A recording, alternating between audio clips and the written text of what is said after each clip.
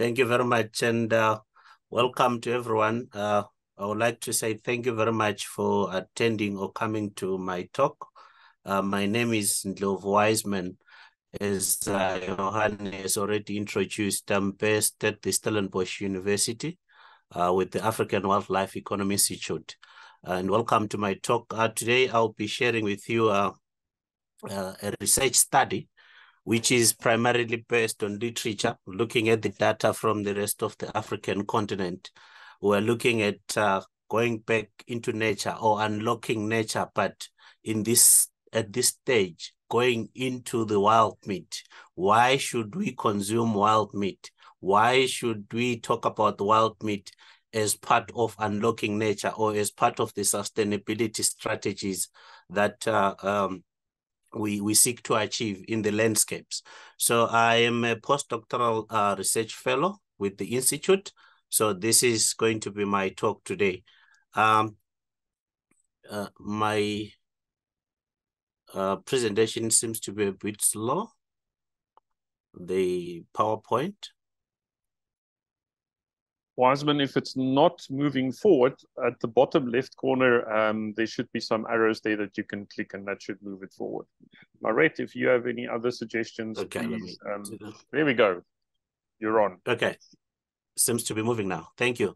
you uh, so this is going to be the outline of my discussion today, of my talk. I'm going to look at why the wild meat and what is the focus for the discussion today.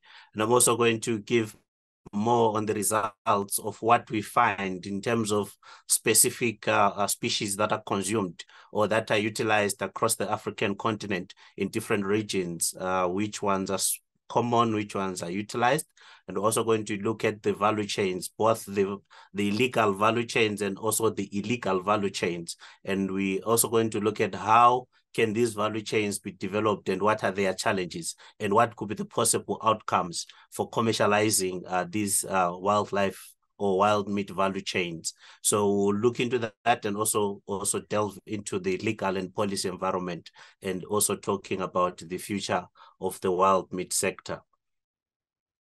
Uh,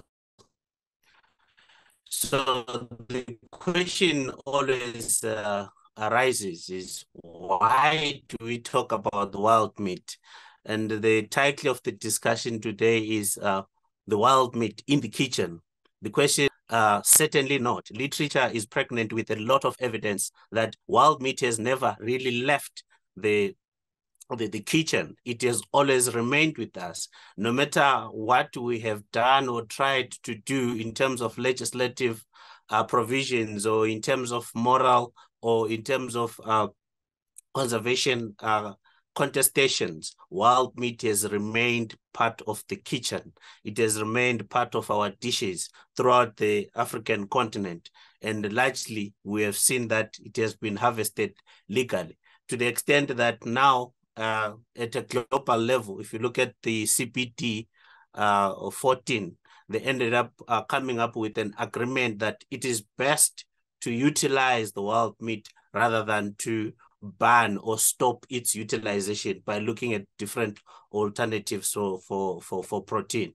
So wild meat has always been part of us. It is part of been the tradition and it continues to to, to form uh, a critical part of our food systems, which the demand is growing. So this is the reason why we are so focused or interested in talking about the wild meat. Why should we talk about it? Why should we talk about it being in the kitchen? And also, we'll learn more as we discuss uh, uh, in this uh, uh platform about how can it be utilized as a tool to achieve uh, sustainability or to achieve conservation outcomes. So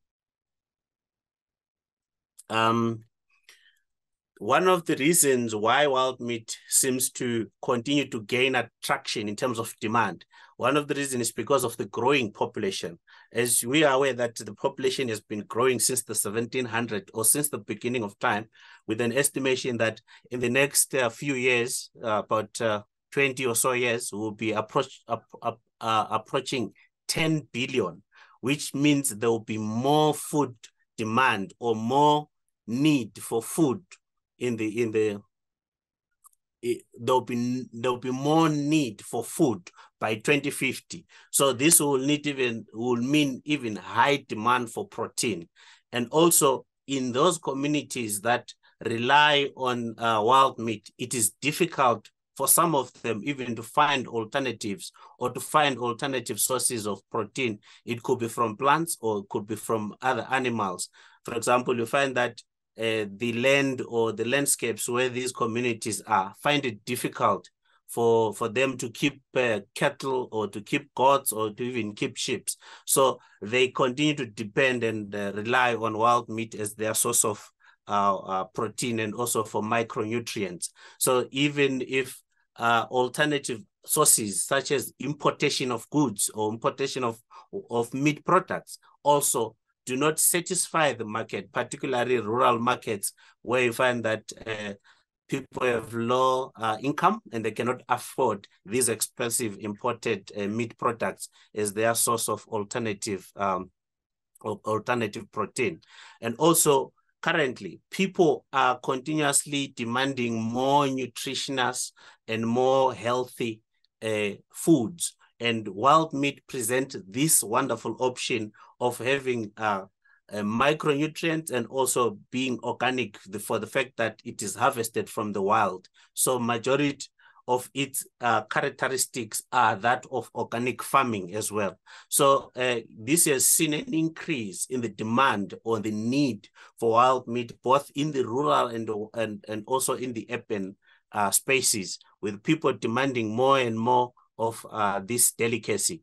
So um, looking at the outlook of the global food demand, uh, it is expected that because of the population growth that I talked about earlier, we it is expected that about 60 to 100% of increase of food demand will also will also accompany the population demand that I mean the population growth that we've talked about that is expect, expected to reach about 10 billion by 2050.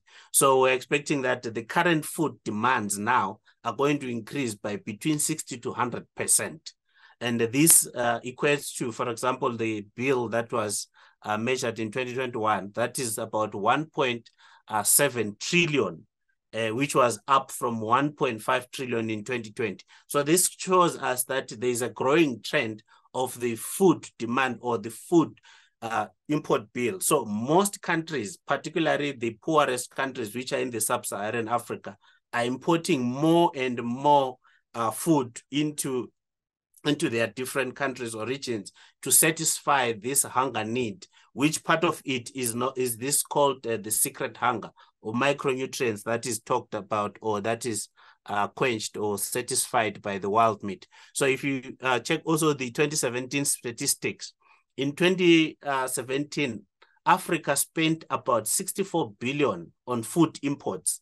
And this is estimated that in the next two years which is 2025 we expect that this will almost double to 110 billion uh, US dollars, uh, the import of food. This further uh, indicate how much food is needed in the African continent uh, and how much is needed to satisfy or how many people are going to uh, enter into uh, enter into the hunger phase or who are going to be deprived of nut adequate nutrition and adequate food in the next few years because of the growing population and also the scarcity of food.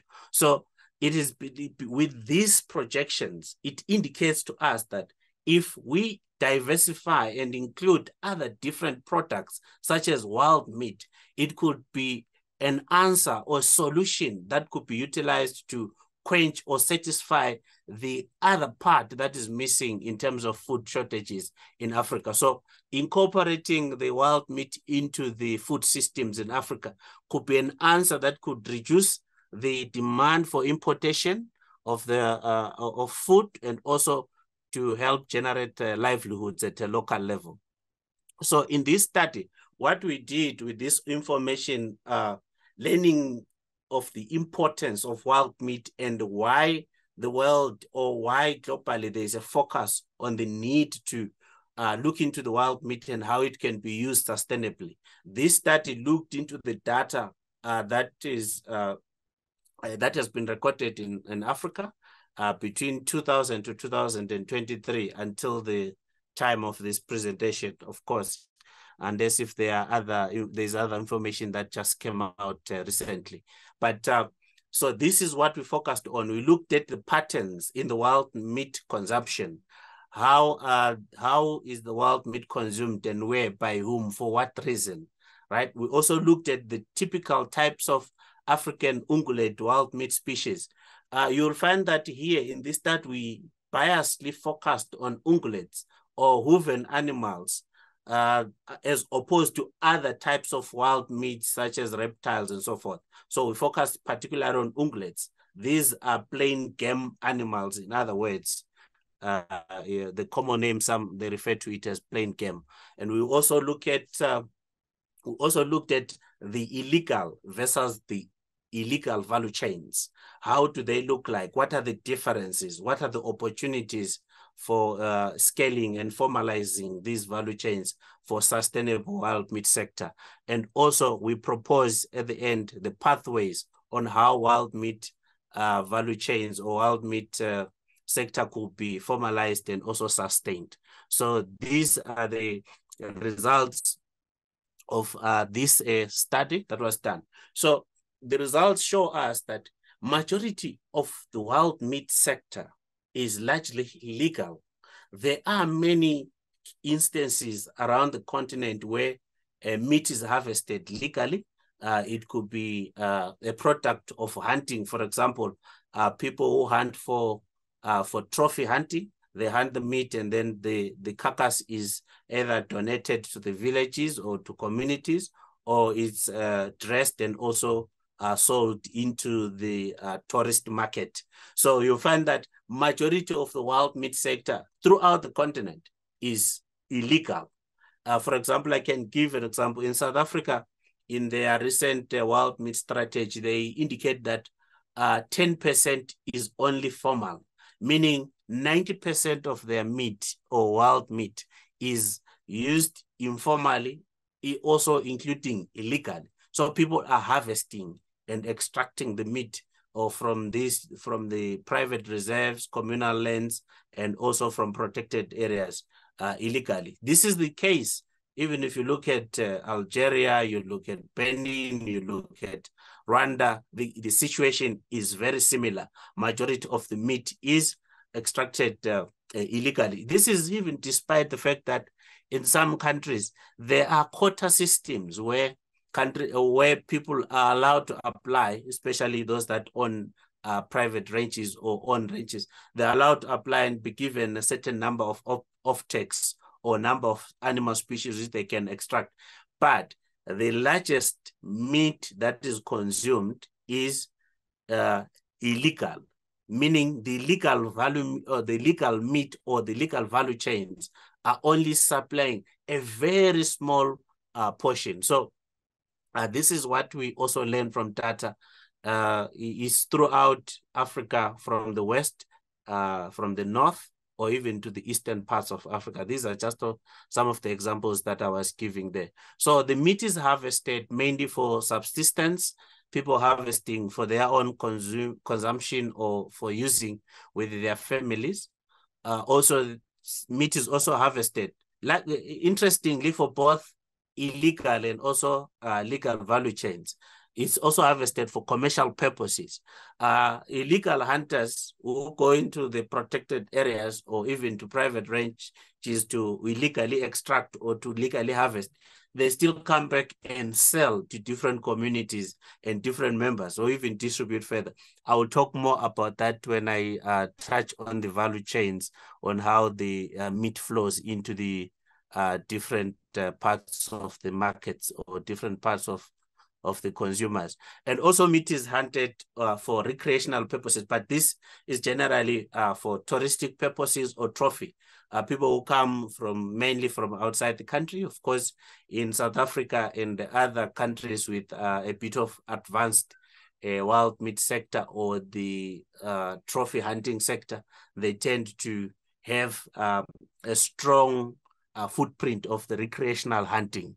So these are some of the uh, hunting uh, reasons that uh, people hunt for, subsistence, commercial, and recreational um, uh, hunting. So, so uh, as I indicated earlier, that the focus here is not on all types of species.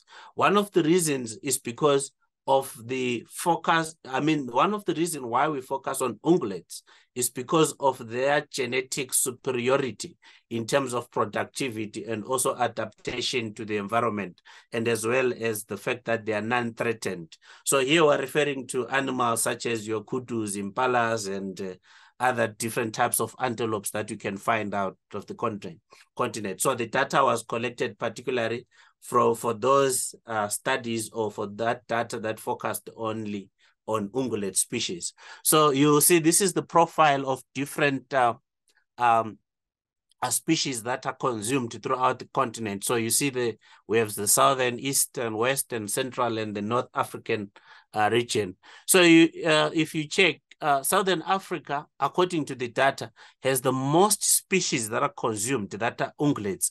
These includes your impalas, your your your your springbuck, your giraffe, inyala, bushbuck, and uh, in terms of totality, in the recorded data, of course there could be more. About 27 species were found to be uh, consumed or utilized as wild meat in the Southern African region. But if you go to um, if you go to uh, uh, uh, North Africa, the case is also different. We have uh, over 11 different type of species that have been recorded to be consumed or utilized by uh, uh, by those communities in North Africa. You, the common one in North Africa is the gazelle. There are different types of gazelle, such as the Dorcas and the Dama gazelle. So you'll find different types of gazelles. That those are the ones that are very common in countries like Algeria, uh, countries like um, uh, Egypt. You'll find those uh, in the North African region, uh, and then also if in in the Eastern Africa, also they have gazelles, but also they have got the presence of duikers.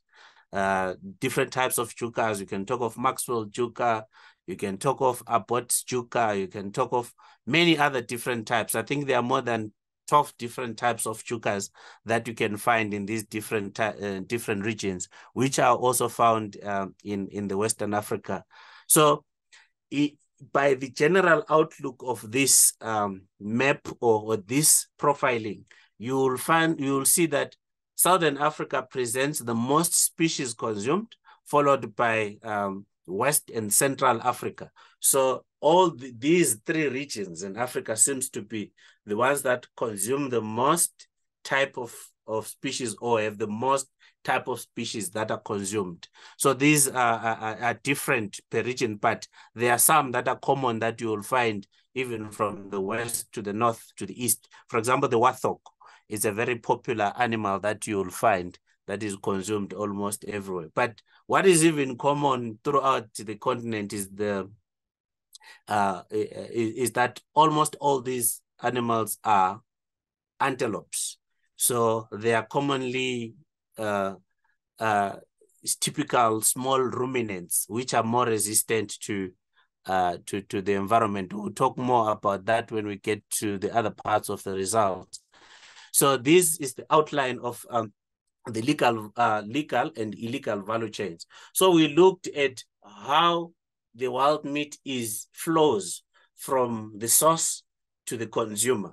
So uh, literature is uh, having two both situations of the legal value chains and also illegal value chains. So all of them, they seem to have their sources, which is as expected from protected areas and private ranges and uh, communal lands. Yes, it's it's legal on the side where uh, they are uh, uh, they are allowing uh, regulations to do that, but the illegal wild meat sector or the illegal value chains, they go into the very same sources or same places and steal or illegally hunt these animals. So uh, I'll focus more on the illegal ones and then just oppose that with the illegal with legal value chains. So in terms of harvesting, uh, legal value chains, predominantly we see men being the uh, most uh, common hunters. Um, and uh, sometimes there are uh, groups of hunter porters. Hunter porters are a group of hunters which are organized by a lead hunter who will identify few individuals who can do hunting for him. Then he sends them into the bush to go and harvest for him. And then he, he, he collects the carcass and then processes it and then sells it further. So the, the, that's the typical situation that you find with illegal value chains. Um, and in terms of their hunting, they seem to be very non-discriminate. They can hunt any animal as long as they find any specific animal in the bush and it's the animal that is on demand in the market, they slaughter it. No care for age, no care uh, whether it's pregnant or so forth. So there is no care for, for anything. They rather, they just harvest the animal as they see it and it's also demanded. So they use different types of techniques, which are uh, uh, uh, which include snares, guns, spears, dogs, and uh, wires, different types of uh, trappings that uh, hunters use eh, when they go into the bush. And this is totally different from the formalized systems. The formalized systems, they normally hunt at night, they blind the animal, they use the single bullet, and it has to be a single head bullet.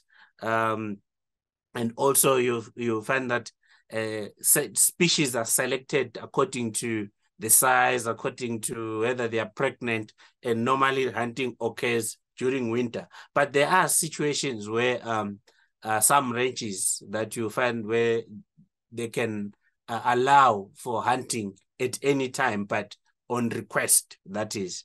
Uh, those are private ranches that allow to do that. And then in terms of processing, illegal value chains, they tend to process more. Uh, they tend to process they tend to process their carcass in the bush. So the aperture that they have is in the bush uh, when a illegal hunter takes the meat from the protected area or private range, he takes it into the bush, he cleans it, removes the head, removes the, the intestines, the offals, and so forth, and then uh, carries the rest of the meat to the to, to, to the communities or to where the uh, the market is for selling. So this is totally different, of course, with the legal meat or the legal value chains where there are private abattoirs or even on farm abattoirs where the farmer follow the procedures which are similar to the uh, to the red meat industry of cattle.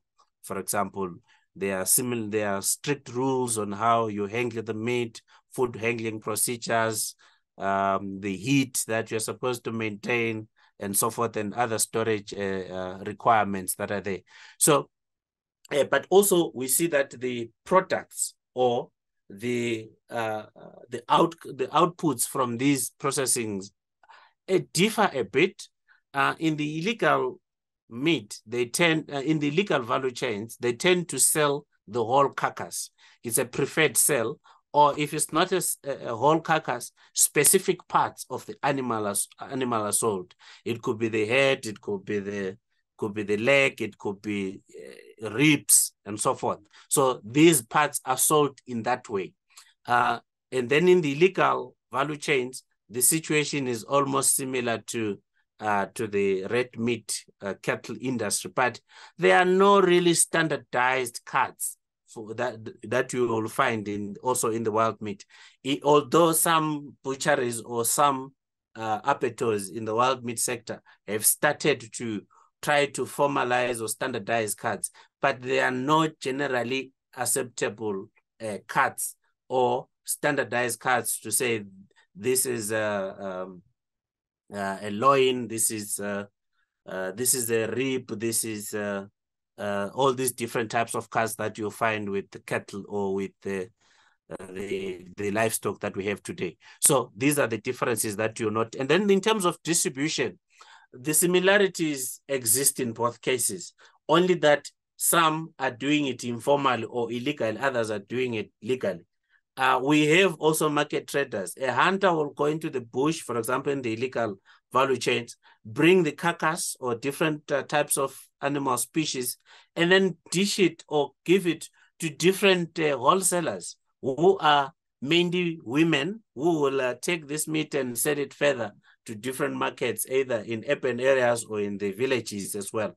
So the system is generally the same with the legal value chains, but the difference is that the other ones are operating illegal or informal as opposed to uh, the legal value chains where they sell uh, on the farm or where they sell through their wholesalers, they distribute the meat to the wholesalers or they also distribute the meat to, to butcheries for further processing and also uh, making of other different products. So I wanted also to talk about the, when I was talking about the products, I wanted to highlight to you that one of the interesting cuts or one of the interesting product of the wild meat is the biltong, which is very popular in South Africa. But uh, if you observe it, it's a very old African tradition of drying meat. So rather meat uh, is preferred to be consumed when it's dry and is usually salted. But uh, now the same process of, the, of, of drying uh, is now being accredited to the Afrikaner community. One of the reasons is because they've revolutionized uh, uh, uh, the process by bringing in different spices and different methodologies of drying and uh, giving it more value. And it's one of the most valuable um, as products in the in the wild meat uh, sector. So these are some of the uh, practices, particularly if we try to look into the old practices, there are some of the things that we can learn from. Some of them are still even reflected in the in the in the illegal value chains. For example, the smoked meat. How can we uh, formalize it? So these are some of the opportunities that we'll talk about when we talk about uh, the formalization of the value chains. So um, the legal value chains, this is very important they seem to supply the rural communities, even though they have now reached the urban and also diaspora markets. For example, you find that they go all the way to EU or European Union supplying African diasporas who have moved there and they still uh, want to consume and benefit or even enjoy this uh, the, the wild meat, but they cannot get it formal or official. So they tend to uh, it via airports and so forth. So the illegal value chain still seems to reach rural, urban, and even diaspora markets, which is very interesting. But typically, uh, it uh, this value chain seems to fo focus more on low income and middle income consumers. And then the legal meat, on the other hand, uh, is more focused on exports and also high income consumers. So it tends to reach mainly the uh, urban elite and also uh, urban, uh, those high class restaurants. That's where you will commonly find it, and other distributors that are located in the uh, in the urban centers. So this then leads us to talk about uh, the current status of the value chains or the current status of the wild meat consumption.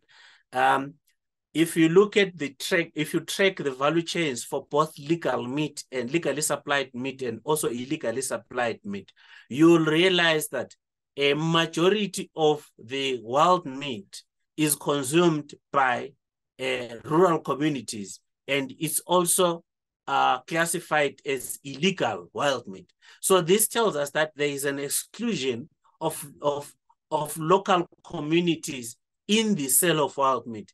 This is surprising and interesting because um, in as much when we are trying to deal with the uh, uh, the population decline of these wild meat species and also fighting illegal hunting, there is a focus that let's reduce the demand. But then the legally supplied meat seems to be uh, only distributed to uh, high income consumers in the exclusion of the local communities that are even the highest consumers of this particular meat that we're talking about. So uh, it's a very interesting uh, uh, uh, finding that we need to look into when we talk about how to sustain and also scale wild meat and also reduce the demand for illegally have legally hunted meat. So there is unfortunately a high level of inadequacy in terms of information.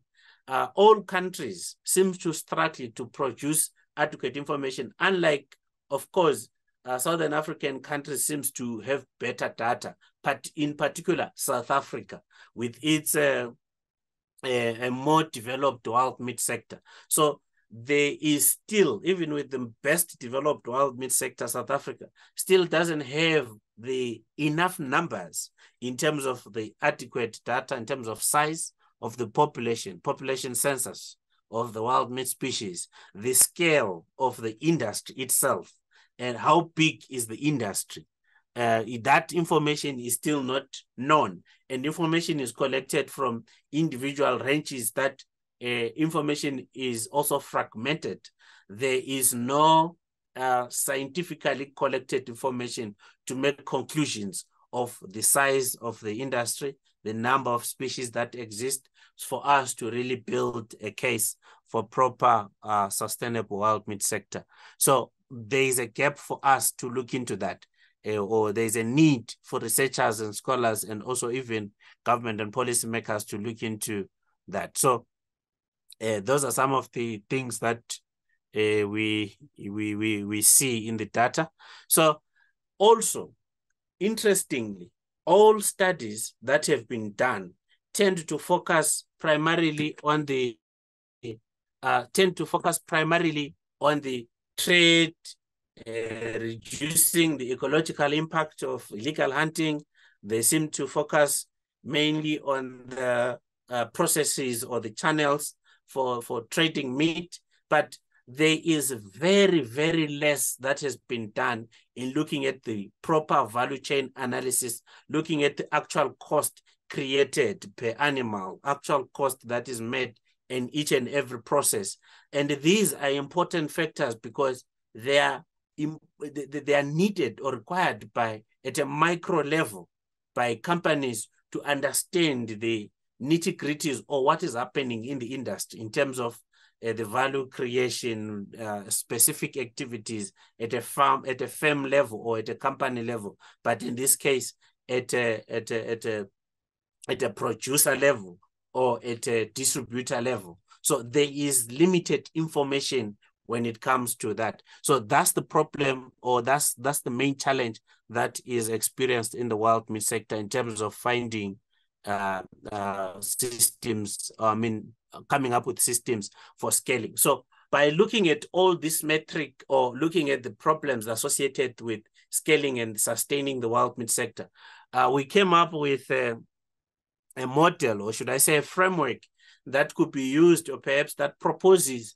steps or pathways that could be followed in terms of formalizing and also achieving the um, achieving a sustainable wild meat value chains. So it's divided into three categories. That is looking at the illegal value chains first, and also looking at the legal value chains themselves, and also looking at the uh, scaled legal value chains. That is, it's a growth process from illegal, that is small operations, to legalized, and then to the bigger and uh, uh, scaled value chain. So, uh, so in terms of the first process, that is the admission when we want to transform and formalize the wild meat value chains or wild meat sector, it is important for us to first admit that majority of it is operating illegally.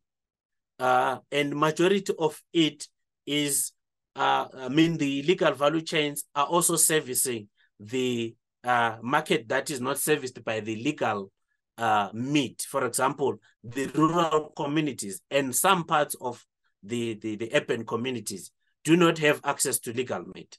So if we agree that this is our starting point to formalizing and understanding the formalities or the requirements for formalizing the value chains, it's important to discuss or invite different actors that are involved in the value chains, both illegal and illegal. Because here, as earlier identified, we talk about we talk about uh, the exclusion of local communities. So if we can get these uh, people who are the largest consumer or the recipient of the illegal meat into the discussion table and look for opportunities how to co-opt them. For example, looking at artisanal uh, hunters or looking at training these uh, illegal, of course, some will say, uh, uh, why are you converting illegal hunters into legal ones? But we can also look at, at a generic perspective, looking at the communities, those that have interest in hunting, or in interest in in uh, uh, in extracting meat. So those are some of the people that could be considered to scale or to formalize or to introduce them as uh, as artisanal uh, producers or as artisanal hunters that could be cooperated or co-opted into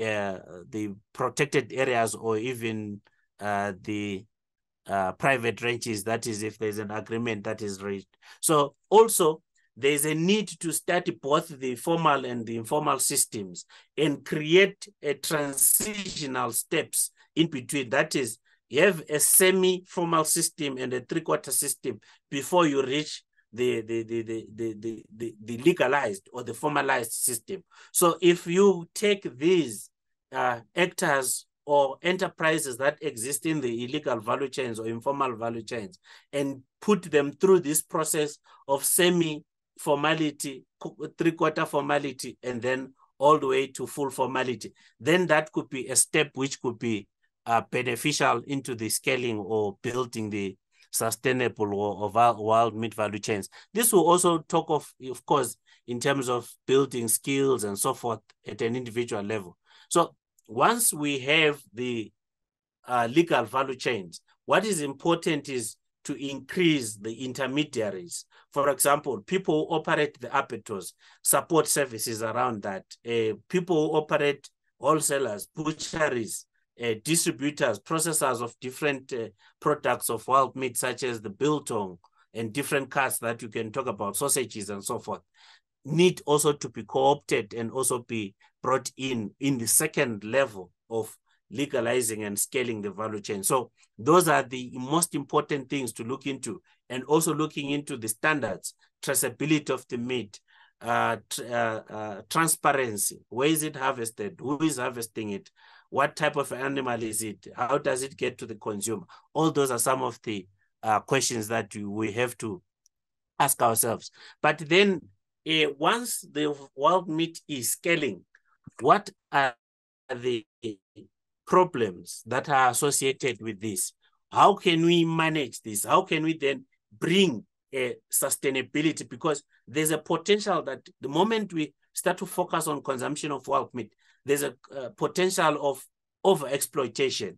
Then in this model, we advocate for intermediate value chains.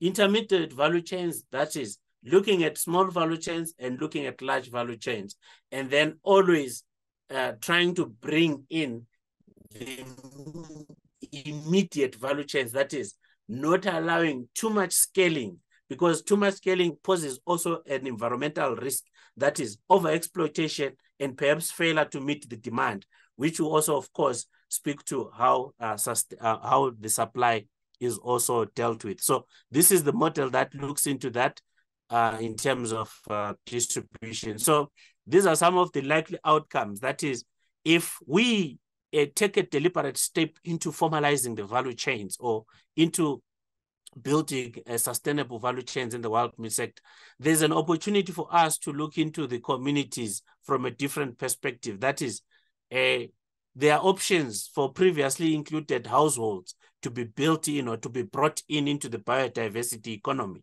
Uh, as we know that the industry is very um, uh, uh, in terms of its one-sided in terms of uh, racial design and also in terms of income level. So this is an opportunity for us to look into rural communities, rural lands, communal lands, and repurpose it and also include uh, those previously excluded communities. It could also bring more sources of food.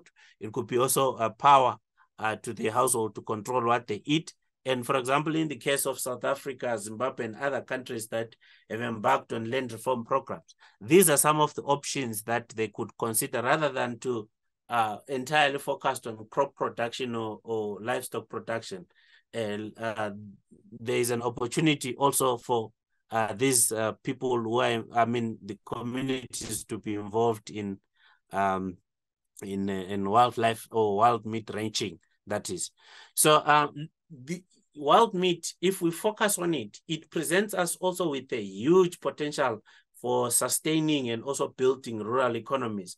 Of course, given the fact that it is a delicacy and uh, it demands because it's organic and it tends to demand higher uh, prices. Uh, if especially if we look at the global market, there are huge there's a huge potential for exports. Unfortunately for South Africa, uh, it was banned from exporting uh, its uh, uh, ungulate species or hooven animals because of uh, foot and mouth. But in general, there's a huge market, there's a big market to export. Uh, I just gave an example here for global export for deer, which was uh, amounted to 500 and 583 million global, that is, which is about 11.6 billion rands. That was the statistics for 2022. And uh, New Zealand being the top exporter, uh, selling to USA, China, and, and, and Germany. So this tells us that if only a deer, if only a deer could make so much, and coming from uh, the European, I mean from Australia and also from uh, EU as exporters of deer, uh, how many deer brothers does Africa have? Uh, Africa has got a huge uh, diversity in terms of species. You can talk of kudus, impalas, inyalas, wildebeest, zebras, and so forth. How much potential does that have uh, if we unleash and open up that economy? And also, uh, in comparison to livestock, uh, if you keep uh, a game, one animal, uh, I mean, sorry, game meat in terms of average per hectare, it gives you up to 220 rands per hectare. In comparison to a livestock, it gives you up to 80 rands per hectare. So this is superior productivity in terms of economic uh, returns. And also in terms of job creation, it creates three times uh, more jobs than livestock farms. Of course, because of uh, labor intensive. It's a labor intensive sector. So therefore it, it commands or it demands uh, more uh, people, I mean, more people to be employed in the sector. Um, and these are some of the reasons why wild meat is of focus. It's because it's healthier, it has got higher minerals and protein, low fat content, lower uh, percentage of inflammatory uh, uh, components. It is such as omega-6, it's lean, it's got omega-3, which is very good. It's an anti-inflammatory uh, uh, uh, component that you find is organic and it has got important acid, I mean, important acid for muscle growth. So if we look at these benefits associated with wild meat uh, and look at the statistics that we have, we have over 1.9 billion that are overweight. We will certainly demand or require these healthier products with children of over 41 million children under the ages of five of five who are obese 140, 159 million worldwide are stunted uh, because so if if we bring in the wild meat into the kitchen or if we bring in the wild meat into uh, food systems we have this opportunity to uh, benefit or to to to to, to give people different nutritional values. For example, in some communities, especially in the central uh, in Central Africa, such as Congo, yeah, wild meat is the only source of protein that people have, particularly in the rural communities. So it remains a very important uh, uh, an important uh, product there.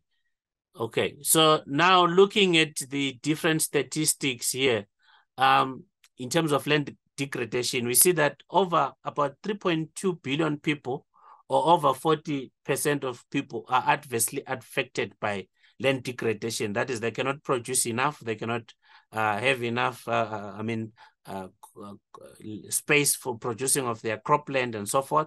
So 25% of global greenhouse emissions are coming from land clearance. Uh, and that is for us to find alternative food, alternative protein and so forth. We need to clear more lands and more lands so that we can grow your beans, your spinach, and other micronutrients that you'll find easily from the wild meat. Uh, also, uh, another statistics by UNEP shows that over 70% of the uh, projected loss of ter terrestrial biodiversity is because of agricultural expansions. So should we go agriculture in terms of livestock and crops, or should we go livestock? Uh, there is no right answer to it, but a combination will work uh, wonders. So here, what is clear is that agricultural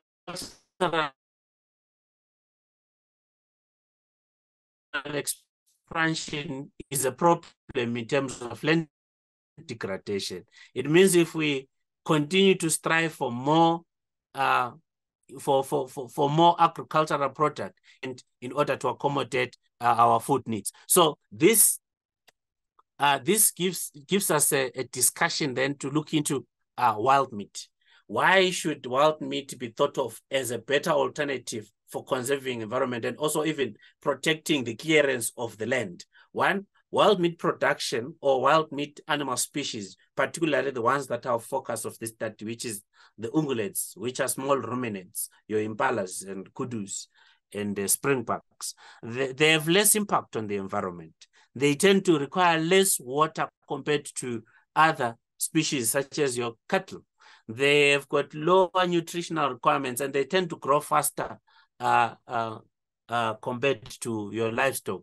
And this then this then speaks to how efficient are they in terms of using vegetation. So they are efficient in terms of using vegetation and giving them a more superior uh, outlook than the, the, the, livestock in terms of uh, survive, surviving and adapting to climate change. And uh, they are also resistant to many diseases and parasites, and they use less antibiotics and also medicine. And even if there is bush encroachment, they are far less uh, affected by that as opposed to uh, uh, to to livestock, which will require to clear more land so that they can live or survive well. Okay, so so in other words, why is the wild meat a choice? It gives us an opportunity to start caring about the habitats. If we start to focus on consumption of wild meat and allowing private ownership or allowing people to control and own and uh, uh, and sell wild meat species. It means the farmer or the ranchers in this case will start to take care of uh, take care of the habitats where these animals live, uh, which is the bush. So when you take care of the bush, it gives birth to uh, other, uh, um, uh, it gives birth to rewilding, that is bringing in back more vegetation different type of species. You can talk of insects. We can talk of reptiles. We can talk of uh, any other, uh, many other types of vegetation that come about if we if our focus is on wild meat production. So wild meat becomes an op option for increasing biodiversity and also increasing um, uh, vegetative, I mean, vegetation growth. And uh, because it uses less uh, chemicals they, it means then there's less production of greenhouse gases. So what does this then mean in terms of policies?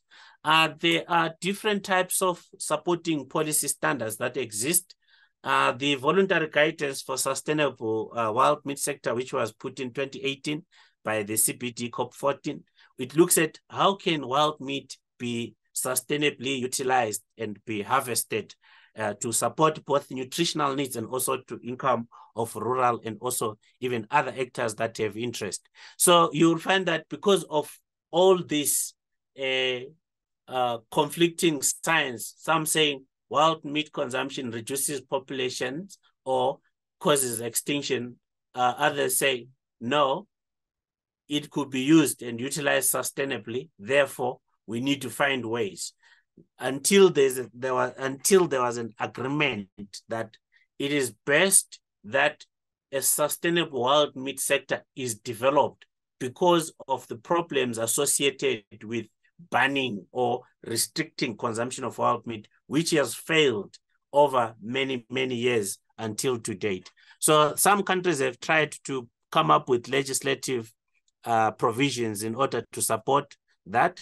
We can look at uh, game, uh, game meat uh, SA strategy, which was uh, recently gazetted. It looks at how it can build the sector and also open up spaces for private community, I mean, for communities to own land and also produce wild meat, focused primarily on wild meat production and also to work with already existing um, ranches. And also the Zimbabwe Biodiversity Economy Report, that is the one that they're working on trying to build the biodiversity economy.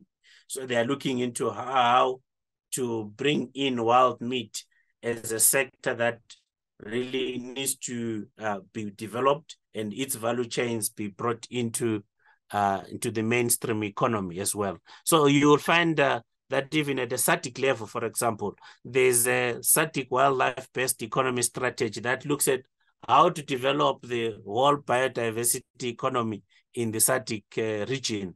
It also does not only look at uh, uh, tourism and other wildlife type of industries, but it also focuses on how the wild meat could be a niche that Africans or, or, particularly the region could focus on. So you'll find different uh, regimes and combination of legislative environment that exist in different parts of, of, of, of the world. And another typical example is Tanzania. Uh, Tanzania also in 2020 introduced uh, uh, and allowed the consumption of wild meat as a way to stop uh, illegal hunting and also to support uh, the agricultural sector. So I'm now coming to the end of this uh, conversation. Uh, I'll now open up for, for chats. So these are some of the things that are left in the sector that needs to be uh, looked into. That is, the sector remains uh, very untransformed and it needs to be looked into in terms of research, in terms of um, policies, in terms of operational uh, processes and also traceability and also transparency. And uh, yeah, and also we need to look into the extent uh, and also the value of the sector.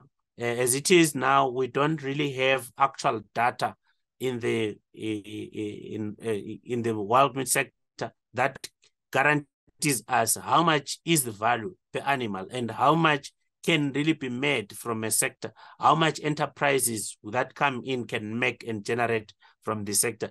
Uh, the information that exists is just all over the place and it depends also on the farmer. And also this is complicated by the fact that uh, the income that comes from wild meat does not only come from meat itself, but it also comes from uh, other related uh, income such as tourism uh, or photographic uh, uh, related activities.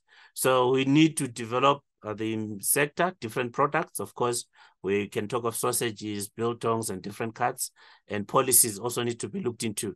And uh, very importantly, which species are more superior and are more uh, opposed to uh, survive in this climate, uh, uh, I mean, in this environment that is pressed by climatic uh, change issues or climatic change concerns, which animals have got genetic superiority uh, which ones can be more productive um, faster than the others so that they can supply the demand. So um, this is uh, the end of my discussion. I'll be willing to chat more and also to discuss further. Uh, thank you very much. Thank you very much, Wiseman. Um, we come to the end of the formal presentation part of our evening. And to open the next part of the evening, I would like to read a quote from Chris in the chat. The bushmeat crisis in Africa is a critical conservation challenge that requires a nuanced approach, balancing wildlife conservation with the socio-economic needs of local populations enforcement of hunting regulations, public education, and providing sustainable livelihood alternatives are key components of a potential solution. Um, so Wiseman, I echo the words of Chris, and we would like to thank you for this uh, presentation that really set the context of this industry in Africa and how the industry itself can be a tool for for uh, productive, sustainable livelihoods or towards um, destruction of uh, habitats and and uh, animal populations. So Um, we look forward to the Q&A. Wiseman, thank you very much. Thank you for your time, and it's lovely to have you with us this evening. So we now go into the uh, Q&A part of our presentation tonight. So um, you're welcome to use the reaction tools at the bottom of the screen, or you can raise your hand, or you can write a question in the chat. Um, you're welcome to start, start with questions.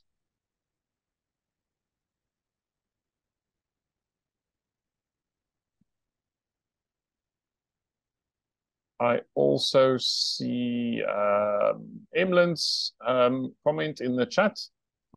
Um, all the scholars in, in the in the community tonight, please feel welcome to reach out to Emlyn and um, access the paper that he made available there.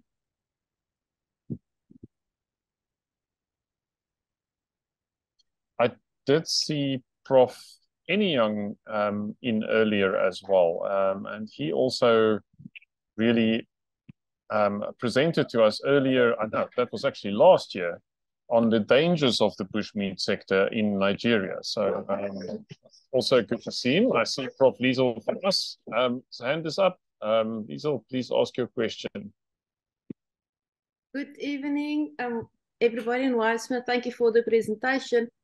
Um, I first want to ask Marie, we need to backtrack. There was a presentation, I think it was in 2022 sometimes, where we also talked about the bushmeat. And I, sorry, but I can't remember the speaker's name, where he focused on Central Africa and the importance, and Wiseman referred to it, the importance of, of the bushmeat with the people in, in Central um, Africa. And then I think we also I must not forget, and that's I always tell the students, if you're a vegetarian, you're sort of reversing evolution because we need to eat meat. So I can understand the importance of it, and we definitely need to start thinking differently of eating meat.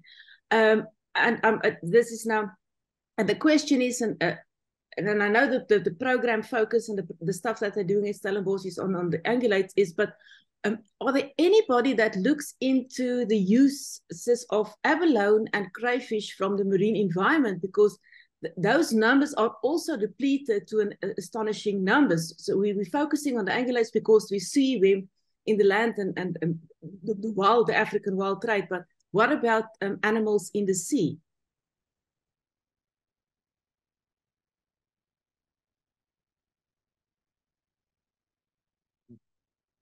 Johan, should I respond? Please, please go for it. Uh, thank you very much for that uh, question. Um, I always uh, have a bit of a chat with uh, my uh, vegetarian friends.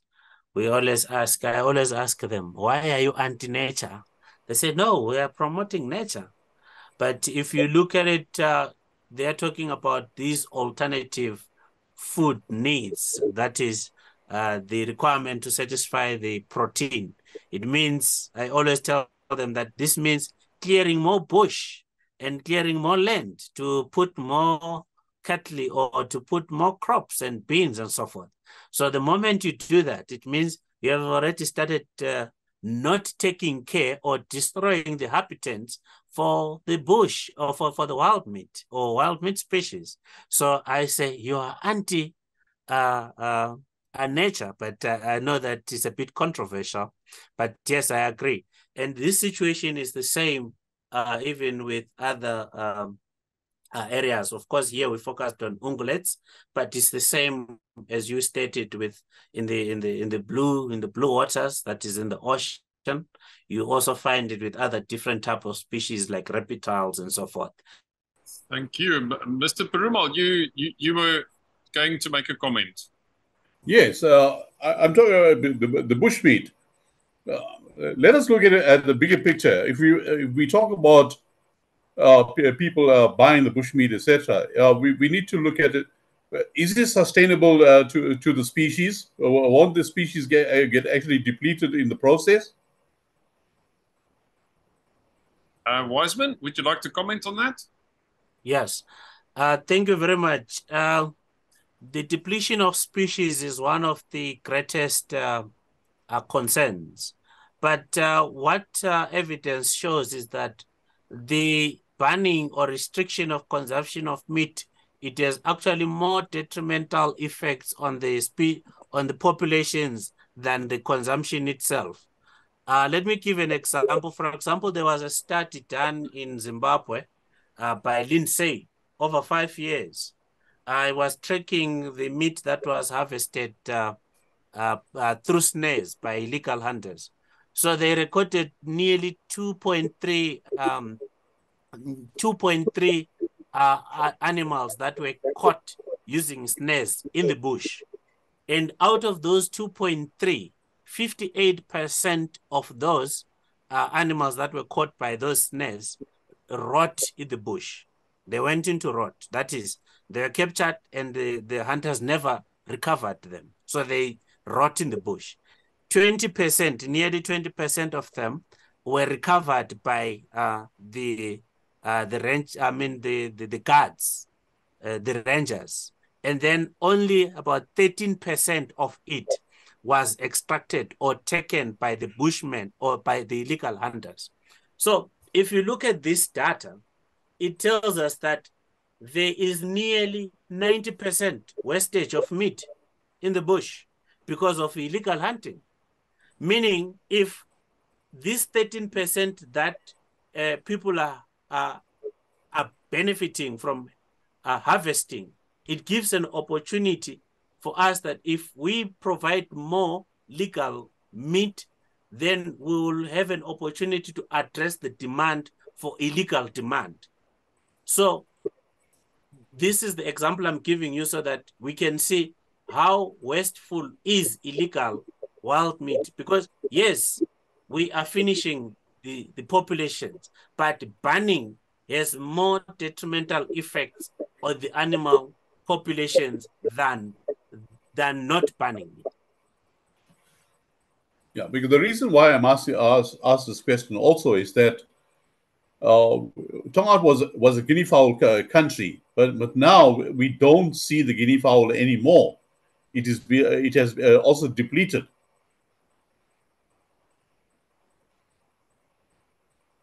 Yes. Yeah. So so, so, so how how do we uh, ensure the, the sustainability of species in the long yes, term? Uh, okay, thank you very much again. Um, if uh, you look at the model that we are proposing there, we are also advocating for intermediate value chains. That is, in as much as we want to scale or uh, open up doors for legal meat consumption, we are also mindful that there is a potential of over exploitation of species. Therefore, these value chains should not be allowed to grow beyond control, but they must be an intermediate management system. So in an intermediate value chains, what we do is we look at the smallest value chain, we look at the biggest value chain, and then we we, we, we develop a mechanism for always uh, converging into the medium value chain. So we are avoiding being too big because we are, are mindful of the species exploitation or over exploitation.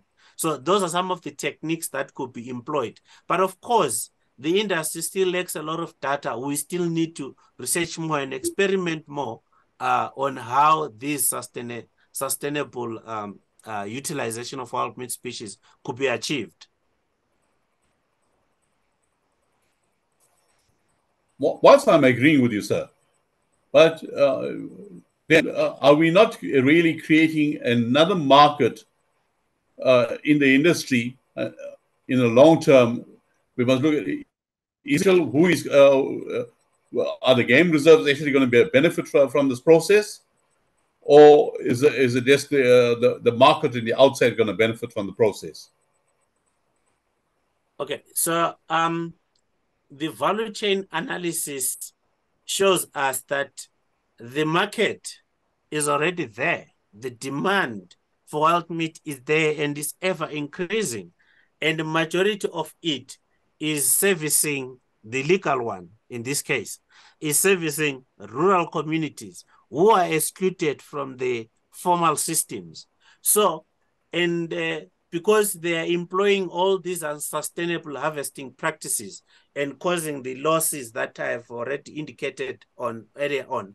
Then this puts more pressure on the species. Even with the growing population and growing demand, it puts even more pressure, meaning eh, in order to satisfy that demand for wild meat that exists already, there will be more pressure into tracking animals or mean trapping animals and even trapping those that are non-target species, including endangered species.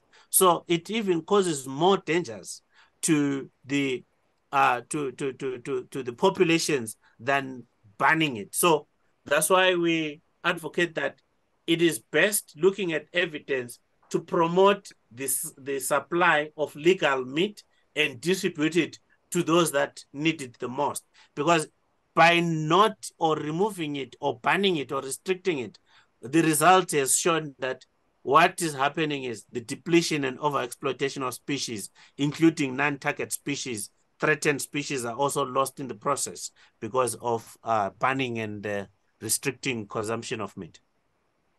No, no, we, are not talking about also. We also look at uh, this culture of eating meat, um, uh, wild meat, right? Mm. Whilst in one hand, uh, we, we, we will tend to agree what you're saying, but where, where, did this culture come from? All of a sudden, that uh, there's suddenly uh, what I'll say a demand for for eating of wild meat, because uh, if you look at history, history tells us straight uh, in any communities, you only hunted when, when, there was a need to, and you, you, you ensured there's a sustainability of the species. Well, right? And if you look at all communities across the board, mm. they were all not carnivores. They were uh, more herbivores than carnivores. Mm-hmm. Um, the, the the first question I asked was that has the wild meat ever left the kitchen? I think that is the question that we must ask ourselves. Has the wild meat ever left the kitchen? The answer is no. It has never left the kitchen, but we have put restrictions around its use uh, because of concerns around the population decline, as you say. So we can now then look into the past practices or indigenous knowledge systems of how to consume and how to preserve or how to even ensure the continued existence of different species. For example, seasonality of saying uh, wild meat is hunted in winter. It is not a merely uh, uh, something that came from the blue. It's a traditional practice that we look into um, saying when was the meat in the past hunted? Meat was only hunted during um, winter towards summer season because that's when people won't be busy or focusing on uh, on cultivation of land and so forth. So they that's the time when they can do hunting. And also people are aware that after summer, uh, the animals start to reproduce and also recreate, and this gives them time to uh, to, re, to, to to to to to reproduce and uh, and and uh, and ensure that there is continued existence of these different species. So uh, all these different methodologies that uh, were practiced in the past, we can still learn from them as a way or as a tool that we can build into our current value chain systems for sustainability. Uh, another thing that I was thinking of is um, uh, uh how in the past uh, certain species were not consumed. For example, my surname is Ndlovu, and Ndlovu is an is an elephant. So traditionally, you are given these surnames as a way to conserve for example, I am Ndlovu. I'm not allowed to eat a Ndlovu animal. And there are so many African communities or people that are, have got different surnames for different animals, including Impala itself, that is the most consumed. So once you are named, uh, your surname is Impala, you do not consume that species. It's, it's another it's another tradition. So I'm just trying to bring in different systems that were used in the past as a tool for conservation. But now we're also permanent uh, into, we're, we're moving, we're, we're living in one area for a long time. Unlike in the past, when they see that the numbers are depleted, they start to move to another environment. Um, they have to move to another environment so that they allow the species to regenerate or reproduce in that particular area. But now we don't have that. So that's why we advocate for the intermediate value chain system that is managing demand and supply, because all this needs to be balanced so that we do not run a risk of overexploiting these species. Thank you. Yeah, but it's low. Mina zwingile wena izlovo. But lo lo lo muntu kamanje And I kamadala. I'm, I'm going I'm going to ask if, if we can return to you in a little while. I just want to go to the questions in the chat as well. Uh, but you're welcome to stay on and we can come back to you again. Um, I just want to go to Petsu Mokatla's question. Uh, what sort of conversations are you having with the formal conservation sector um, in how the sector can play a role in supporting this process? So I think that's quite a, quite an interesting question. Okay, thank you very much. Um, the conservation, the conversation that is there between wildlife economies and the conservation sector. Um, so let me answer this from a philosophical point of view of uh, the institute and also the wildlife economies itself. So the focus is to say how can we achieve conservation goals uh, using evidence or using the economy as a vehicle for, for, for accomplishing that.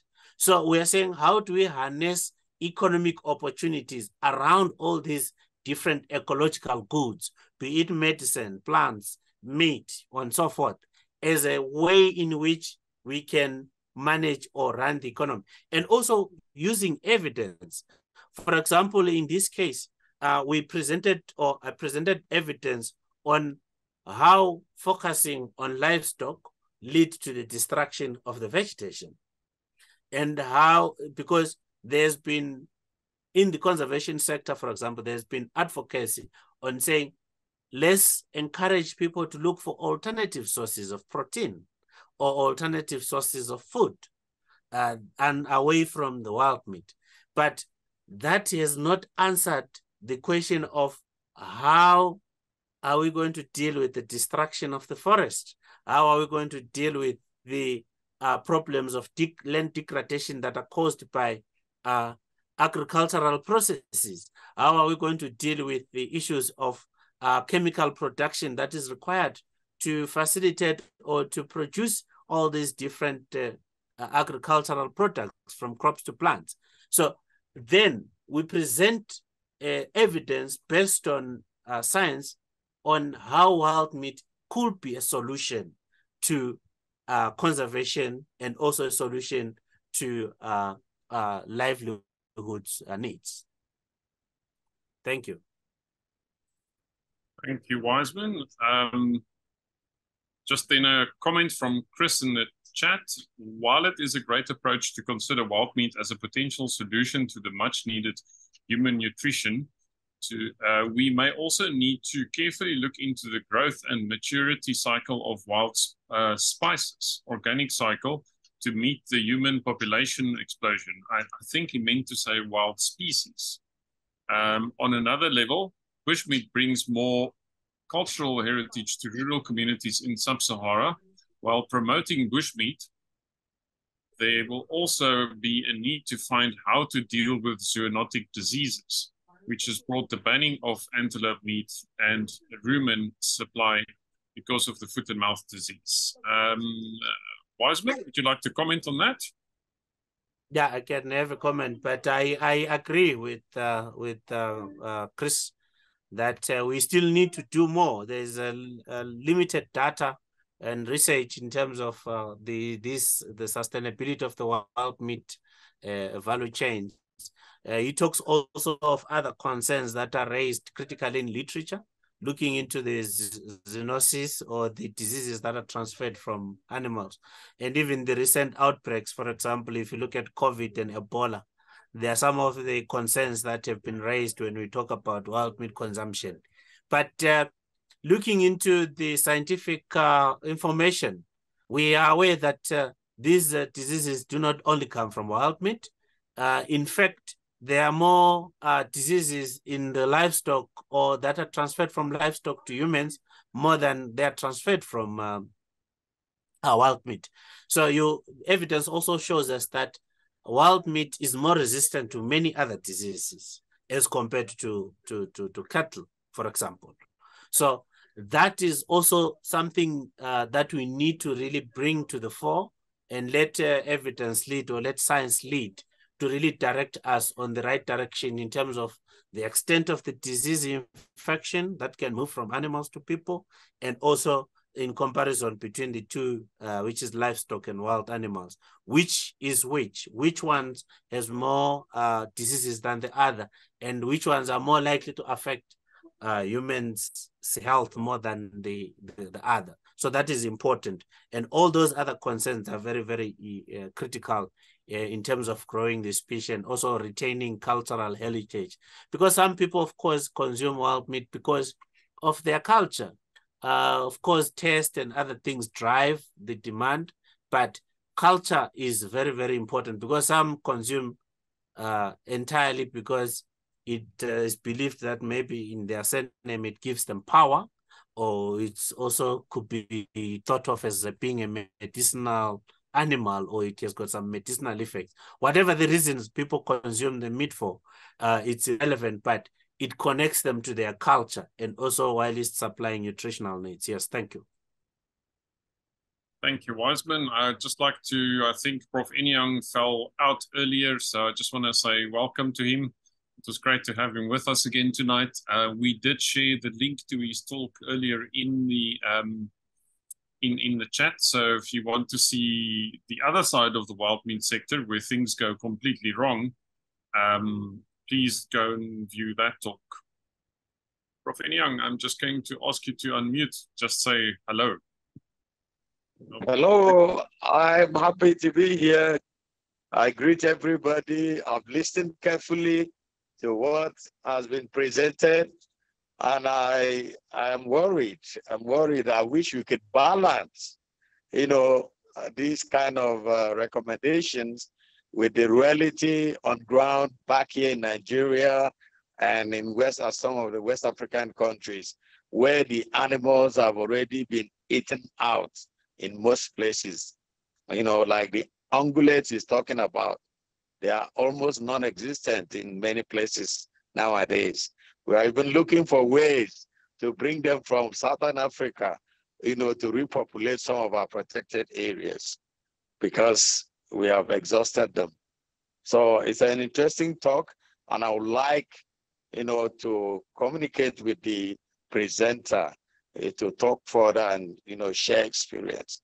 Thank you very much for giving me the opportunity.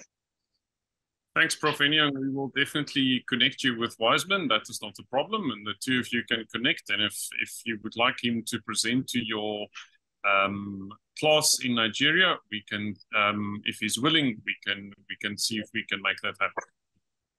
Thank yeah. you very much. Thank you. Yeah, thank you very much, uh, uh, Adam. Yeah, um, the West African situation is a very interesting one. Uh, the depletion of animals is very huge, as you say. Um, I, I like to give an example in comparison between the East African country, particularly Kenya, and also perhaps compare it with uh, South Africa. Since the 1970s, in the Kenya in the Kenyan region, they've banned the use of consumption of wild meat, for example. Uh, but what we have observed from then to now is that Kenya has lost nearly 68% of its wildlife. Uh, this is statistics that is all over the place. And compare that almost a similar period with South Africa. South Africa around the 1960s allowed uh, or liberalized the ownership of wild animals and allowed private ranching and private ownership. Uh, the animals were nearly less than 600,000 uh, uh, around that time. And then as we speak today, South Africa has nearly uh, 20 million animal species, and uh, they have been promoting use since then.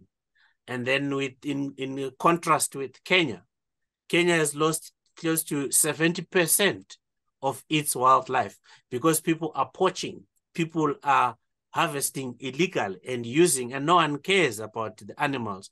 Why will a farmer see an impala running around his area and take care of it when he cannot generate money from it? Or uh, he would rather save the grass or even let it die so that he can uh, save the grass for the cattle or goats. So this is just a, an example for us to see that banning versus use, it has got a different effect.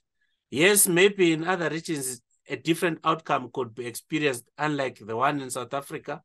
But what we see is that all countries where there is heavy restriction or complete ban, animal species are depleting at uh, mass as compared to those that have promoted use. Thank you, Johan. Thank you, Wiseman. We've had Wiseman for an hour and a half. If there is a question, somebody with a burning question, I'm happy to let him take it. But otherwise, I think we um, we're going to thank him and um, then see each other again next week, Thursday. Thank you very much. I think that then that is it for this evening. Thank you for for being with us this evening. It's been a very interesting conversation. It's necessary questions that we need to ask and explore this and um, use this sector as a productive conservation tool, but also productive towards um, livelihoods. Thank you to Prof. Enyang joining us all the way from Nigeria and all of you, thank you very much. We'll see you again next week then.